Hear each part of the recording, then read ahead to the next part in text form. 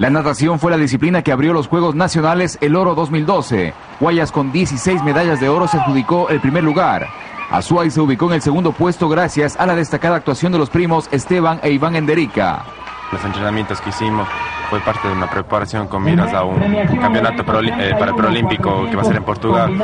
Estamos ya más, mucho más cerca ya para un clasificatorio a Juegos Olímpicos, pero bueno, esto fue, como se dice, un momento clave de preparación para nuestro sede principal que va a ser Portugal. Morona Santiago cerró el podio de la natación gracias a las siete medallas doradas de Samantha Arevalo. La nadadora espera que la Federación Internacional de Natación confirme su invitación a los Juegos Olímpicos. Lunes salgo a Estados Unidos, una competencia que espero ya también bajar los tiempos si es posible.